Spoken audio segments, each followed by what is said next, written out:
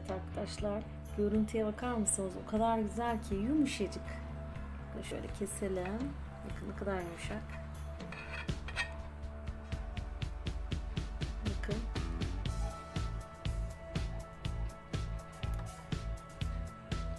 Muhteşem bir kek oldu. Unsuz, şekersiz, nefis bir lezzet. Bugün de tarifimizin sonuna geldik. Kanalıma abone olmayı unutmayın lütfen. Hoşçakalın. Herkese merhaba. Bugün evde kalmış malzemelerle muhteşem bir kurabiye tarifi vereceğiz size. Ee, aslında hmm, kurabiye mi yapsak, kek mi yapsak diye düşünüyorduk ama e, şöyle dolgulu bir kurabiye tarzı bir şey de yapabiliriz aslında. Yani içerisine biraz çikolata dolgusu falan da kullanabiliriz. Bakalım ne çıkacak. Evde muzlarımız var. Tabii muzlardan önce bir yumurtamızı hemen çırpalım. Yumurta kokumuz çıksın. Şöyle. Önce yumurtamızı çırpalım. Çırpmak ister misin Emine? Yapamam. Yapabilirsin. Al çırp. Evet, oğlumla beraber yapıyoruz. İyice çırp, iyice çırp.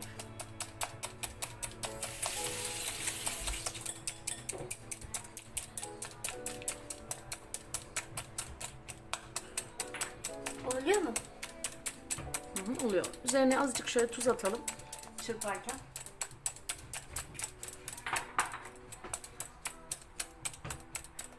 Daha güçlü çırpman lazım. Nasıl? Şöyle iyice korkmadan. Öyle mi? Evet bak şöyle. Çırptıktan sonra muzları koyacağız. Siz ne koymak isterseniz koyabilirsiniz. Sadece yapılış tarzından ilham alabilirsiniz. İşte elinizde e, kararmış muzlarınız var ve yumuşamış. Ama çok pasta ve böreklerde kullanılabilir.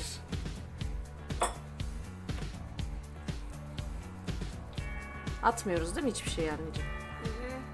Kullanıyoruz. Geçen gün de patlıcanlı bir brownie yaptık. Nasıl olmuştu Emin Alp?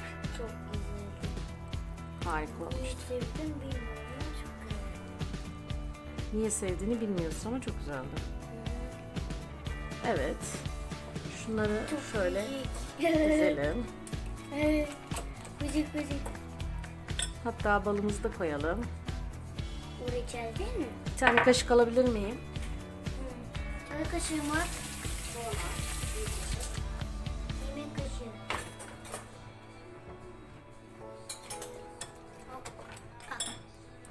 Evet. Asistanım bana kaşık verdi.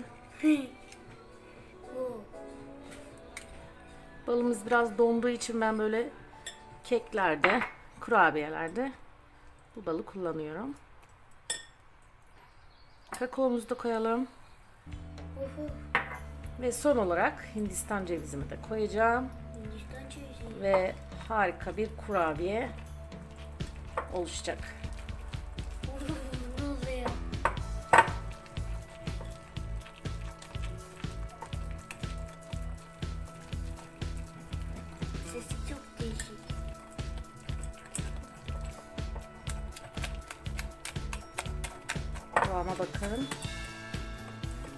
Buna yulaf unu da koyabilirsiniz dilerseniz. Ben Hindistan cevizi unu kullandığım için hiç yağ kullanmadım. Ama siz dilerseniz Hindistan cevizi yağı koyarak yulaflı da yapabilirsiniz bunu. Evet son olarak karbonatımı da koyuyorum. Bir çay kaşığı kadar karbonatımı da koydum. Ve karıştırdım. Ve kekim veya kurabiye nasıl istiyorsanız kek de olur, kurabiye de olur bu hamurdan. Nasıl bir kalıba koymak istiyorsanız isterseniz bir tepsiye yayın, isterseniz cupcake kaplarını da koyabilirsiniz. Dilediğiniz şekle verebilirsiniz.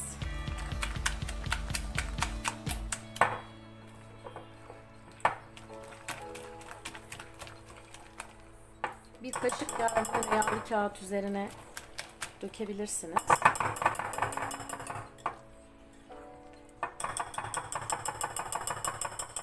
Karışımım hazır. Şunu hemen çıkaralım içerisinden bir kaşık yemek kaşığıyla devam edelim. Bakın bu şekilde. Şöyle bir kalıbım vardı arkadaşlar. Ben yağlı kağıda e, kullanmayacağım. Bugün bunu denemek istedim. Çünkü kalıbımı yeni almıştım hiç kullanmamıştım. İçerisine şöyle çok az tereyağıyla hemen parmaklarınızla şöyle yağ gezdirebilirsiniz. Siz dilerseniz e, Hindistan cevizi yağı da kullanabilirsiniz. Nasıl bir yağ kullanmak istiyorsanız bitkisel bir yağ da kullanabilirsiniz. Bu şekilde kaplarımı yağlayacağım. Bugün farklı bir şey deneyeceğim. İçerisine belki de çikolata dolgusu koyarım. Bir deneyeceğim bakalım nasıl bir şey çıkacak bunun içerisinden. Sonucu hep birlikte göreceğiz. Ama sonuçta eminim muhteşem olacak. Sen ne diyorsun Emin abi? Bilmem. Bakacağız. Patlıcanlı kek olmaz diyordun. Sonra hepsini sen yedin ama. Bize yedirmedin neredeyse. Patlıcandan kek olur muydu? Ha? Patlıcandan kek olur muydu? Brownie daha doğrusu. Tam bir brownie'ydi değil mi? Bakalım bu da çok güzel bir brownie olacak. Zaten sayfamda bunun e, birebir çok benzerinde kek var. Ama ben bugün kek yerine böyle değişik, dolgulu bir şey yapmaya karar verdim. Kalıbımı gördüğünüz gibi yağladım. Hemen şöyle harcımdan birer kaşık koyuyorum arkadaşlar içerisine. Şöyle çok doldurmayayım. Zaten. Şöyle boşlukları doldura doldura.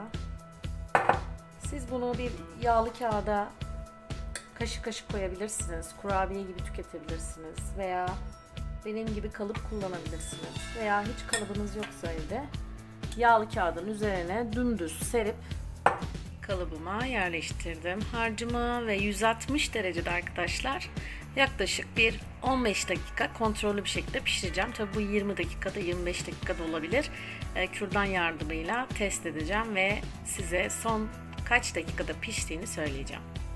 Çıkan keklerin üzerine biraz e, böyle benme usulü çikolata eritip e, eklemeyi düşünüyorum. Bakalım nasıl olacak. Düzenimi kurdum ve çikolatalarımı eritmeye başlıyorum.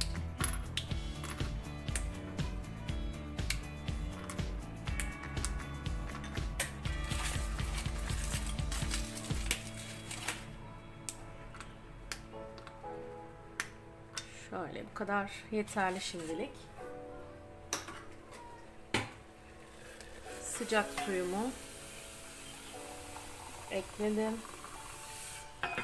ve ocağa alıyorum.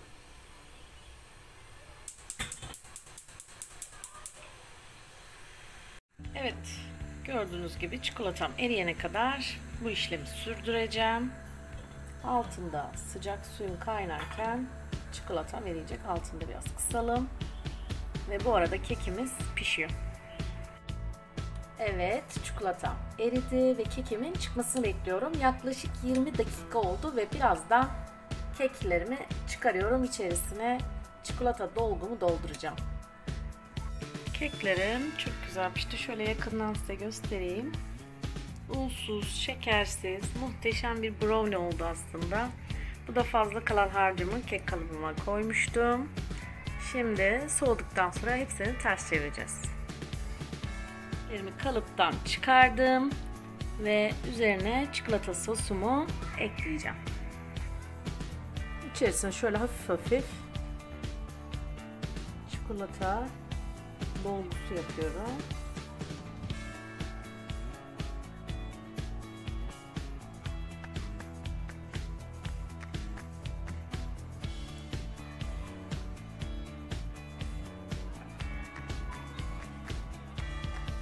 Dilerseniz siz bu dolguyu yapmayabilirsiniz ama ben böyle güzel görüntüsü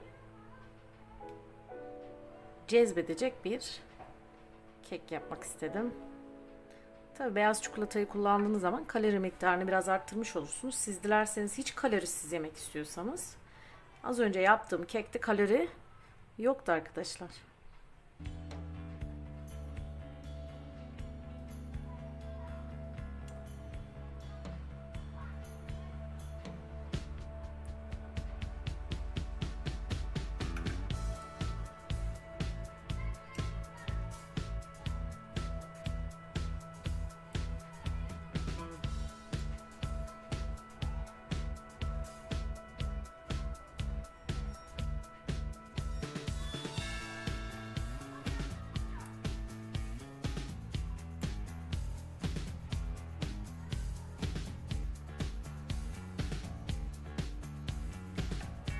Evet, unsuz, şekersiz tariflerimden e, ilki bu değil arkadaşlar.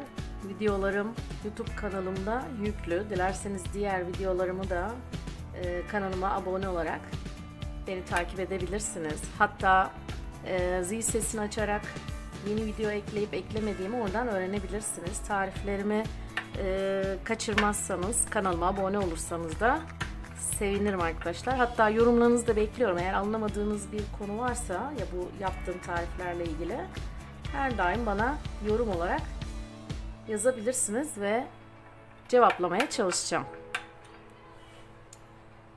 Kekim hazır olmak üzere. Dolgum bitti. Ve sonuç mükemmel. Az sonra dolgusunu, iç dolgusunu da göstereceğim size.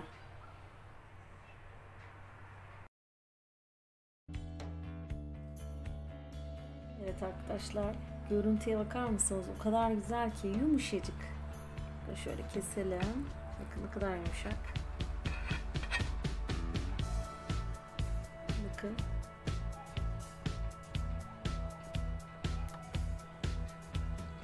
Muhteşem bir kek oldu. Unsuz, şekersiz, nefis bir lezzet.